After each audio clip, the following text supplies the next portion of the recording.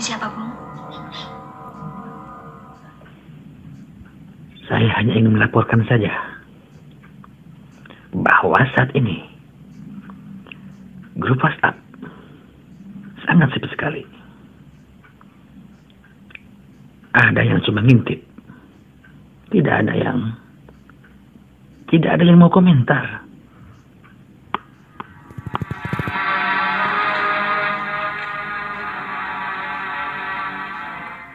Bagaimana kalau kita laporkan saja para pengguna WhatsApp yang tidak mau komentar di grup WhatsApp ini?